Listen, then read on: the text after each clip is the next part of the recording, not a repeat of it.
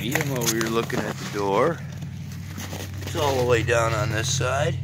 All the way. From the inside, you can really see it. All the way across. It's all the way down.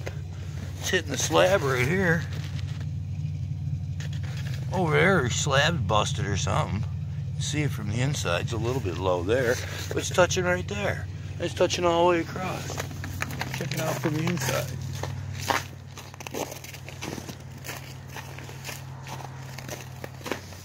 Check her out. It's right on the floor. It's right on the floor. And all the way across. Till here where there's a little imperfection in the slab.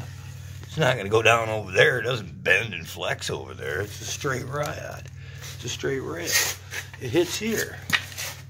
Right there. It's touching it.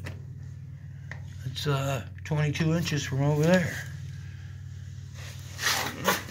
Slab's lower there. Can't do anything about that. Nothing to do with accident and doors.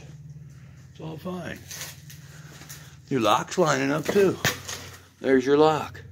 Right in the, hinges. See the grooves it sits into? That show. I'll let this light do it. This light's not doing it. Anyhow, you can see it's in between the grooves. The flap goes back if you want it to lock it. You don't have a key.